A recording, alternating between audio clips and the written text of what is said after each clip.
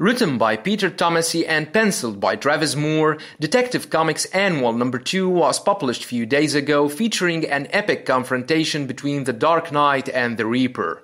The book opens in Paris with a couple celebrating their fifth anniversary when they were attacked by a thief who wanted to steal their money.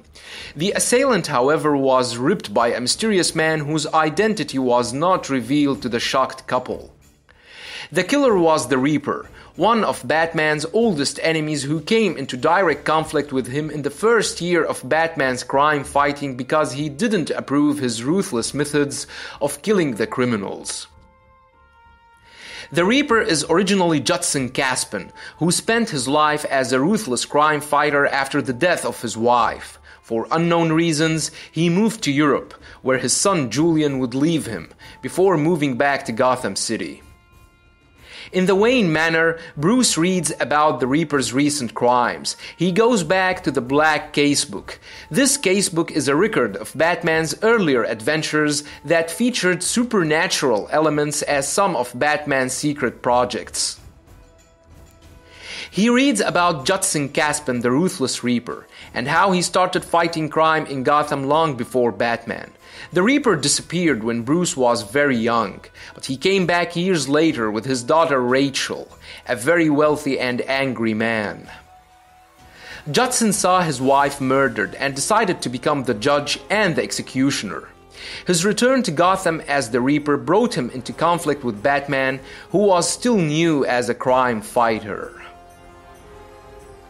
Their confrontation was brutal, but Batman ultimately defeated and unmasked him and found out that he was his fiancee's father. Batman tried to save him, but Caspin chose to fall to his death rather than go to jail. His death changed Rachel forever. She decided to break up with Bruce, and he never saw her again.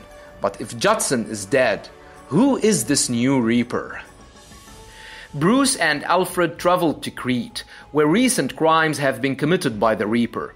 Alfred, who speaks Greek fluently, acted like a drunk man.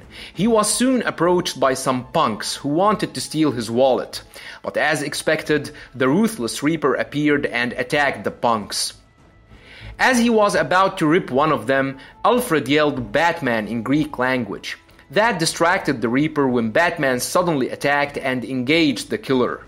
They broke into some bar and briefly fought, but the Reaper soon disappeared, and Batman got busy saving the innocents. Batman, however, caught something from that fight which led him to a nearby bookstore.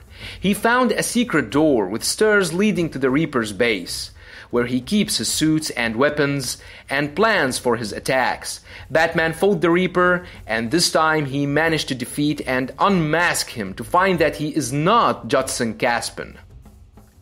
Batman didn't recognize this young man. Notice how Batman lifts the man with one arm. Of course, this is not the first time we see Batman accomplishing some superhuman feats.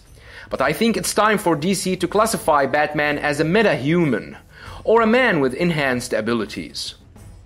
The man says that he is just told what to do, and at that moment, Julian Caspin, the son of Judson Caspin, appears on a screen and addresses Batman. Julian says that Batman knows his father and sister, but he does not know him, because they never mentioned him before. Julian left home when he was in his teens and when his sister was still a baby, shortly after his mother was killed. His father tried to avenge his mother's death by striking fear into those who took everything away from him. Julian left his father not because he hated him, but because he felt he was limited and he was not satisfied with his father's measures. Julian took up his father's dream and broke all limits. He has made the Reapers an international implement of vengeance, whose aim is to destroy Batman. Suddenly, another Reaper broke into the place and attacked Batman. The masked Reaper was about to kill the other Reaper when Batman intervened and prevented him. Batman attacked the Reaper, telling Julian that he is a killer just like his father, and these brainwashed Reapers he has trained. Batman assured Julian that he will beat every one of them, and will eventually find him and will beat him too. Batman defeated the Reaper and was about to leave the place with the young man who was injured. But the Reaper revealed that he had a time bomb to explode. Batman managed to escape with the young man before the Reaper exploded the whole place. The book ends with Batman contacting Alfred and reporting that he is safe, but not sure if that was a happy ending. Detective Comics number 1005 will be published in few days from now, with the conclusion of the Arkham Knight story which I've been covering on this channel. Hope you liked the video. Don't forget to subscribe, share, and like.